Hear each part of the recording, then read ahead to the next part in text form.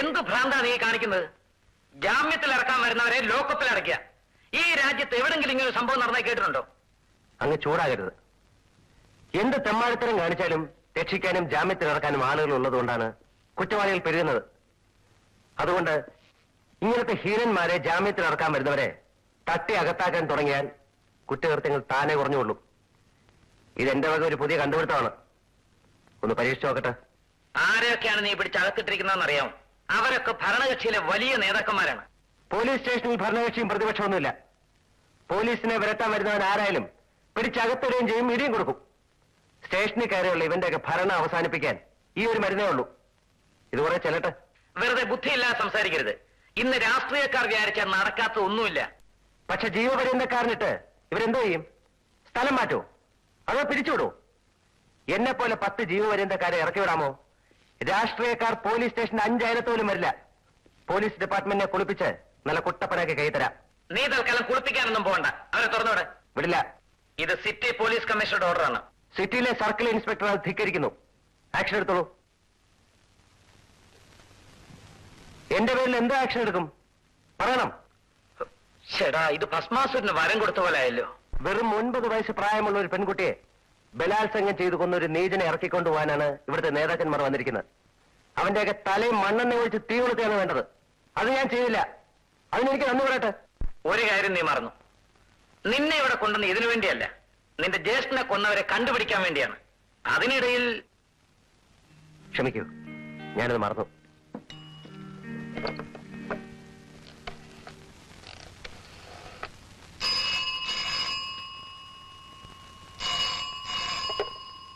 Police station Jayamohan speaking yes sir ആ ജാമ്യക്കാരെ ഇറക്കി വിട്ടേക്കൂ.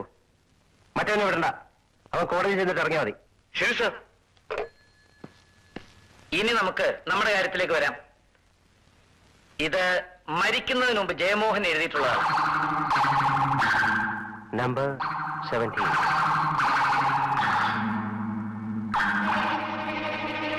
ഇത് ഏതെങ്കിലും വാഹനത്തിന്റെ നമ്പർ ആയിരിക്കുമെന്നാണ് എന്റെ സംശയം. ജയമോഹനെ ഇടിച്ചു വീഴ്ത്തിയിട്ടുള്ളത് ഈ വാഹനമായിരിക്കണം. കറക്റ്റ് നമ്പർ സെവന്റീൻ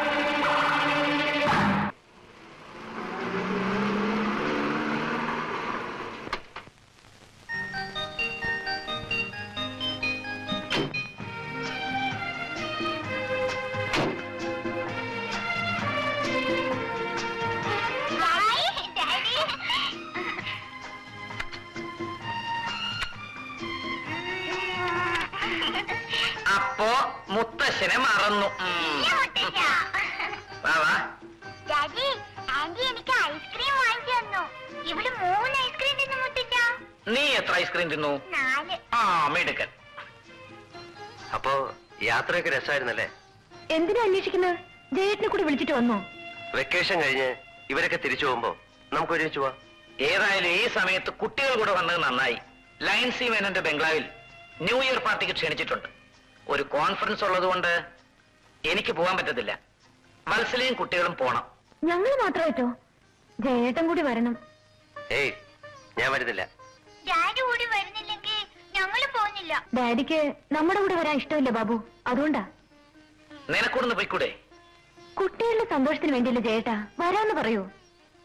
വരാം. നല്ല ഡാഡി. ലേഡീസ് ആൻഡ് ജെന്റിൽമെൻ എന്റെ എളിയ ക്ഷണം സ്വീകരിച്ച് ഇവിടെ സന്നിഹിതരായിരിക്കുന്ന നിങ്ങൾക്ക് ഏവർക്കും ലയൺ സ്ഥാപനങ്ങളുടെ പേരിലും എന്റെ വ്യക്തിപരമായ നിലയിലും സ്നേഹനിർഭരമായ നവവത്സരാശംസകൾ. ഒരു അത്യാഹിതത്തിൽ നിന്ന് ഈശ്വരാനുഗ്രഹത്താൽ അത്ഭുതകരമായി രക്ഷപ്പെട്ട നമ്മുടെ പ്രിയങ്കരനായ മിസ്റ്റർ ജയമോഹനും അദ്ദേഹത്തിന്റെ പ്രതിശ്രുത വധു വത്സലയും ഇന്നിവിടെ സന്നിഹിതരായിട്ടുണ്ട്. വിദ്യാർത്ഥി ജീവിതം മുതലേ നല്ലൊരു ഗായകൻ എന്ന് പേര് കേട്ട മിസ്റ്റർ ജയമോഹനോട് ഈ നവോത്സരാഘോഷത്തിന് മാറ്റുകൂട്ടുന്നതിനും നമ്മെ എല്ലാവരെയും സന്തോഷിപ്പിക്കുന്നതിനും വേണ്ടി ഒരു ഗാനം ആലപിക്കണമെന്ന് ഞാൻ അഭ്യർത്ഥിക്കുന്നു. Hey I am sorry. ഇല്ല. നടന്നേ.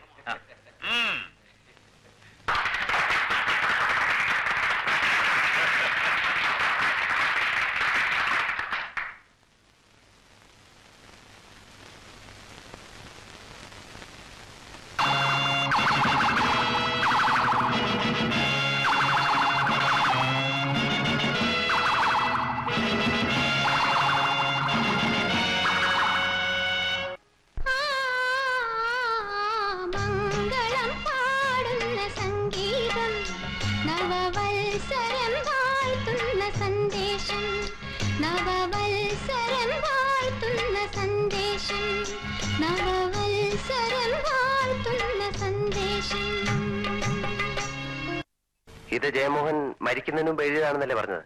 അതെ. ഇതൊന്ന് വായിക്കും. നമ്പർ പതിനേഴ്. ഇപ്പോഴോ? ലയൻ ഇതിൽ നിന്ന് എന്ത് മനസ്സിലായി? മനസ്സിലാക്കാനുള്ള കാര്യങ്ങളൊന്നും ഇതിലില്ലല്ലോ. ഉണ്ട്. ലയൺ സി മേനോനെ കുറിച്ച് ഞാൻ അറിഞ്ഞിടത്തോളം വിവരങ്ങൾ വെച്ച് നോക്കുമ്പോൾ ഇത് നമ്പർ പതിനേഴല്ല ലയൻ തന്നെയാണ്. അതുകൊണ്ട് ജയമോഹന്റെ മരണത്തിന് ഉത്തരവാദി ലയൻ സി മേനോൻ തന്നെയാണെന്ന് ഞാൻ പറയുന്നു. നോൺസെൻസ് ഒരു കടലാസ് തിരിച്ചും മറിച്ചും കാണിച്ച് ആണുങ്ങളെ പറ്റി അപവാദം പറയുന്നു. ജയമോഹന്റെ സ്വന്തം മകനെ പോലെയാ ലയൻ സി മേനോൻ കരുതിയിരുന്നത്. അത് നിനക്കറിയോ? He will never do it രക്ഷയില്ല. നിങ്ങളെപ്പോലുള്ള ഉന്നതന്മാരായ ഉദ്യോഗസ്ഥന്മാർ ഒന്നുകിൽ ശുദ്ധാത്മാക്കളാണ് അല്ലെങ്കിൽ അഴിമതിക്കാരാണ്. രണ്ടു കൂട്ടരും അപകടകാരികളാണ്. ഈ രാജ്യം രക്ഷപ്പെടണമെങ്കിൽ ഒറ്റ മാർഗേ ഉള്ളൂ. എന്താണെന്നറിയോ? നിങ്ങളെപ്പോലുള്ള ഉദ്യോഗസ്ഥന്മാരെ തൂത്തുവാരി അകത്താക്കുക. ഇനിയുള്ള കാര്യങ്ങൾ ഷട്ടപ്പായിട്ട് എന്നെ ചെയ്യാൻ പോവാ. എന്നെ സ്പെഷ്യൽ ഡ്യൂട്ടി നിയമിച്ചിരിക്കല്ലേ ഇന്നു മുതൽ ഞാൻ എന്റെ വഴിക്ക് പോകുന്നു. ഇഷ്ടമല്ലെങ്കിൽ ആക്ഷൻ എടുത്തോ? ഇല്ലേ പിരിച്ചു പിരിച്ചുവിട്ടേക്കൂ.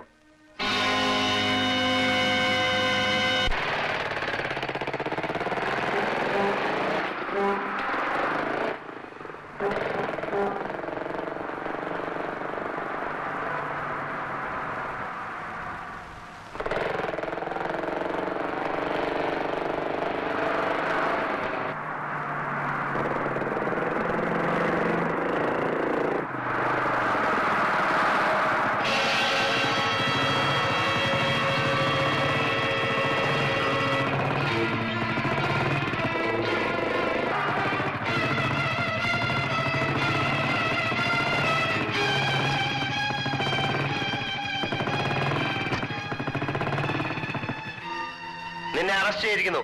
വണ്ടി സ്റ്റേഷനിൽ കൊണ്ടുവാ. എന്നെ എന്ത് അറസ്റ്റ് ചെയ്യുന്നു? ഞാൻ എന്ത് തെറ്റിയില്ലേ റാസ്കൽ. എന്നെ കുറിച്ച് ചെയ്യുന്നോടാ. വണ്ടി കിട്ടാ ആരാ? എന്ത് വേണം? ഇവിടെ വരൂ. ഇവിടെ വരണം മിസ്റ്റർ ചോദിക്കട്ടെ. ഞാൻ അങ്ങോട്ട് വരാനോ? നീ ഇവിടെ വരാ നീയോ? റഹീമെ ഇന്ന് വരെ ആരും നീ എന്ന് വിളിച്ചിട്ടില്ല.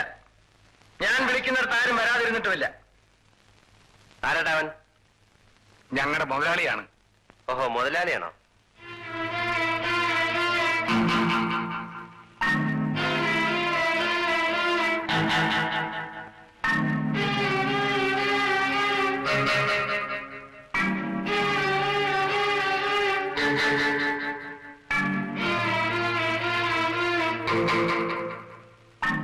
ഈ പതിനേഴാം നമ്പർ ലോറിയുടെ ഉടമസ്ഥൻ. നീയാണോ? ആണെങ്കിൽ നിന്നെ അറസ്റ്റ് ചെയ്തിരിക്കുന്നു. അറസ്റ്റോ? റഹീമിനെയോ പാവം പോലീസ് പയ്യൻ. പോരെ. എന്നക്കടാ അത്രയ്ക്ക് ധൈര്യമോ.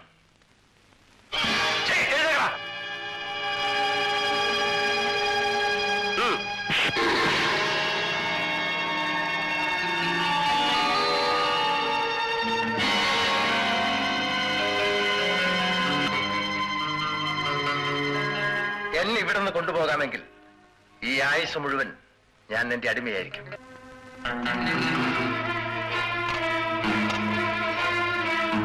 ഓഹോ ഒരു കാലേ ഉള്ളോ. എനിക്കൊരു കാൽ കൂടുതലാ.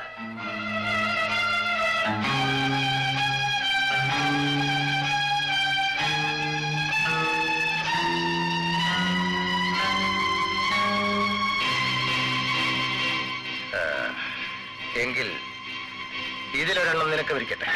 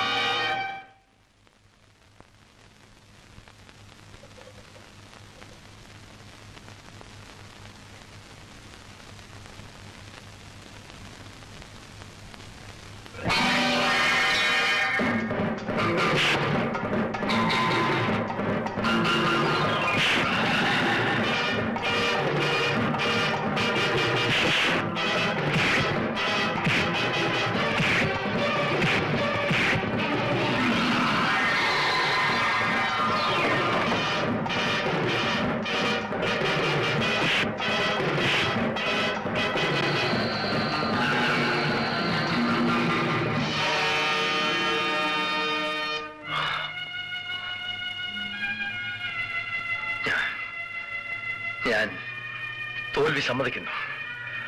വരൂ.